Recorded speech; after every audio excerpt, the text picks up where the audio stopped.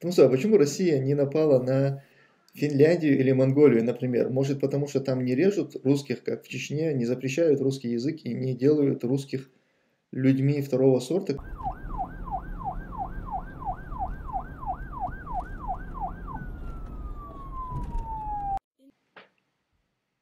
Работа, проводимая на данный момент Закаевым, считаешь ли ее полезной и правильной? Я про открытие консульства Ичкерии в Украине.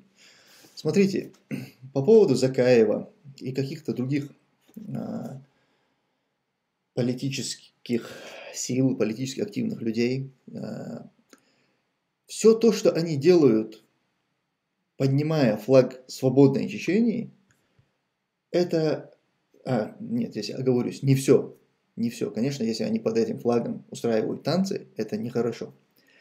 Но если они какие-то предпринимают действия, где-то дают интервью, там, а, просто куда-то, значит, едут, с кем-то встречаются, это выкладывают, и там, значит, висит флаг а, свободной Чечении, это хорошо.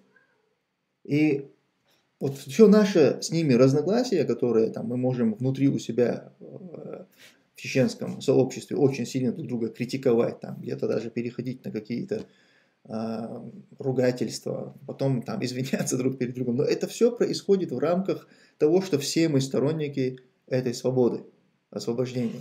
Просто каждый видит там по-своему. Кто-то кто-то себя видит властью, кто-то там еще кем-то, кто-то хочет этой властью стать, кто-то кого-то признает, не признает. Но надо сказать, что любое действие, где популяризируется идея независимости, в, в глобальном смысле это э, полезно. Поэтому я, я не... То есть тех, те хорошие действия, которые исходят даже от тех людей, которые, с которым у меня есть э, политические претензии, я, я не буду теперь эти, э, эти их действия дезавуалировать, э, правильно дезаву, девулировать, дезавулировать, да? Ну, то есть их а, не признавать я не буду. Если эти действия полезны, то они полезны.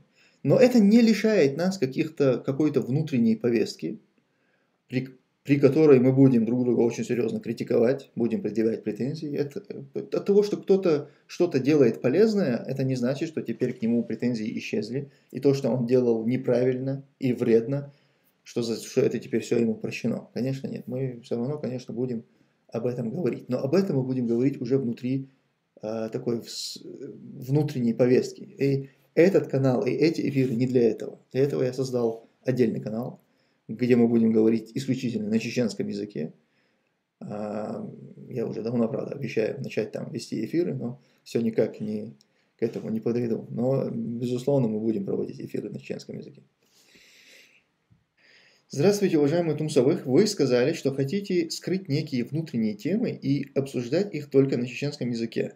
Но от кого вы хотите их скрыть? От ФСБ, от кадыровцев или от простых граждан?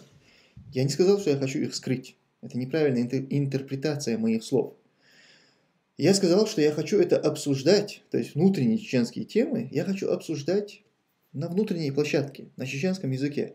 Это не, та, не, не те темы, в которых у нас должны быть зрители – из числа не чеченцев, которые бы сидели, грызли семечки, слушали бы наши внутренние распри и кидали бы какие-то вопросы в тему, понимаете?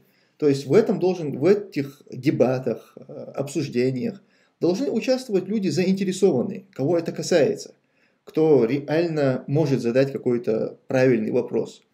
А не те люди, которые в принципе не в теме, и они просто из спортивного интереса будут накидывать а, какие-то вопросы. Вот в чем дело. А мы от кого ничего скрыть, скрывать не собираемся.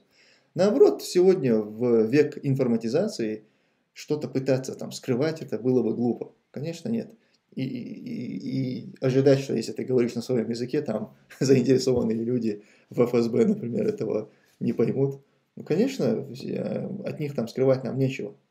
Все эти какие-то разговоры, дебаты, они являются публичными. Просто мы хотим, чтобы публика была правильная, заинтересованная. Это как, знаете, вот, когда проходят, допустим, предвыборные дебаты, когда какие-то выборы в России проходят, и дебаты, эти дебаты их ведь не ведут на английском языке, на японском, на китайском, их не переводят на японский, на китайский, субтитры не делают, потому что ни, ни Китай, ни англоязычная аудитория не является целевой аудиторией этих выборов, понимаете, они в этом не, не заинтересованы. То же самое и здесь. Том что как чеченцы воспринимают за границей, как русских или как отдельный народ? Просто за границей все, кто из России и даже СНГ, для них все русские. Но пока не поймут, кто ты, если ты не скажешь, что ты чеченец, то если ты просто покажешь документ, и там будет написано, что ты из России, то тебя, конечно, воспримут как а, Раша. Но если ты скажешь, что ты чеченец, то, как правило, ну, практически все знают, кто такие чеченцы, знают историю про Чечню, про войну. Редко можно встретить людей, которые об этом еще не слышали. Это обычно бывает какая-то молодежь, вообще молодые ребята. Они могут что-то не знать. А те, кто хоть немного были в контексте, варились, там, видели новости, они, конечно, бывают в курсе. И после того, как ты говоришь, что ты чечени, то никто тебя уже с, с Россией не ассоциирует. А какие проблемы у чеченцев в России были 400 лет назад, в 1622 году? Не знаю, по датам я прям тебе, конечно, не скажу, но то, что Россия свою экспансию на Кавказ ведет уже 400 лет, а, об этом говорят а, историки. Ну и, наверное, самый, самая главная фигура, которая озвучила а, эту цифру 400 лет, это был Борис Ельцин. В 1997 году при подписании мирного договора с Асланом Масхадовым, я помилует его Аллах, с нашим президентом, это был договор о о мире и сотрудничестве. А, после подписания этого договора Ельцин произнес эти знаменитые слова. Он сказал, что сегодня поставлена точка в 400-летней, 400-летнем противостоянии. А, поэтому, ну, есть, наверное, среди, среди историков будут разные версии, они, может, будут спорить. Кто-то скажет 400 лет, кто-то скажет там 300 с чем-то лет. Но если округлить приблизительно вот эти 4 века, а, на Кавказе идет экспансия Российской империи.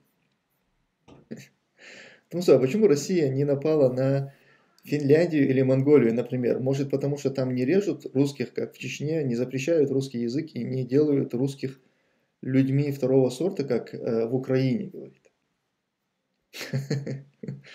Э, я так понимаю, в этом вопросе есть сарказм, да? Потому что в Чечне русских не резали, а, в Украине их людьми второго сорта не делали. А, ведущие политики, журналисты говорили на русском языке в Украине, и с ними ничего не происходило. Но насчет вот Монголии и Финляндии не знаю, честно говоря.